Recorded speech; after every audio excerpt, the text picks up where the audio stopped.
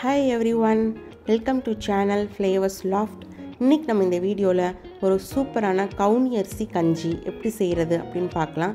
இந்த வெயில் காலத்துக்கு கவுனி அரிசி கஞ்சி வந்து உடம்புக்கு வந்து ரொம்ப நல்லது. இதுக்கு வந்து ஒன் கப் கவுனி அரிசி எடுத்துக்கோங்க. இந்த பிளாக் ரைஸ் அப்படின்னு சொல்லுவாங்க. வந்து கொலஸ்ட்ராலை கண்ட்ரோல் பண்ணக்கூடிய நல்ல எஃபெக்ட் வந்து இதில் இருக்குது வெயிட் லாஸ் டயாபெட்டிக்ஸ் இதுக்கு எல்லாத்துக்கும் இது ரொம்ப நல்லது. இதை முதல்ல வந்து நல்லா கழுவி இந்த மாதிரி எடுத்து வச்சுக்கோங்க.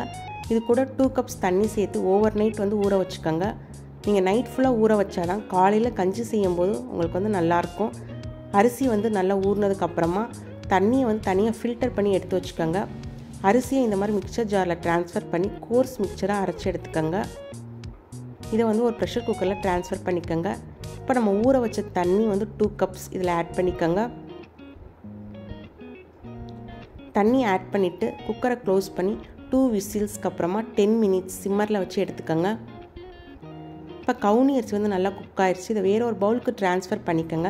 முதல்ல வந்து நீங்கள் தண்ணி சேர்த்து கலந்து விட்டதை விட ஒன் கப் மோர் சேர்த்து இதில் வந்து நல்லா மிக்ஸ் பண்ணி விட்டுக்கிட்டிங்கன்னா சாப்பிடும் போது டேஸ்ட் வந்து நல்லாயிருக்கும் மோர் சேர்த்து மிக்ஸ் பண்ணதுக்கு அப்புறமா உங்களுக்கு எந்த அளவுக்கு வந்து லிக்விட் கன்சிஸ்டன்சி தேவையோ அந்த அளவுக்கு நீங்கள் தண்ணி சேர்த்து இதை வந்து மிக்ஸ் பண்ணிக்கோங்க.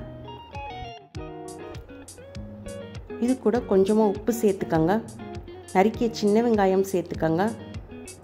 கருவேப்பிலை சேர்த்துக்கோங்க. ஒரு பச்சை மிளகா நறுக்கி சேர்த்துக்கோங்க. இதை வந்து நல்லா கலந்து விட்டுக்கோங்க. இப்போ சூப்பரான கவுனி அரிசி கஞ்சி வந்து ரெடி ஆயிடுச்சு இந்த வெயில் காலத்துக்கு இந்த மாதிரி கவுனி அரிசி கஞ்சி வச்சு சாப்பிட்டிங்கன்னா உடம்பு வந்து ரொம்ப ஹைட்ரேட்டடாக இருக்கும். லைக் பண்ணுங்கள் ஷேர் பண்ணுங்கள் கமெண்ட் பண்ணுங்கள் தேங்க்யூ ஃபார் வாட்சிங் வீடியோ பாய்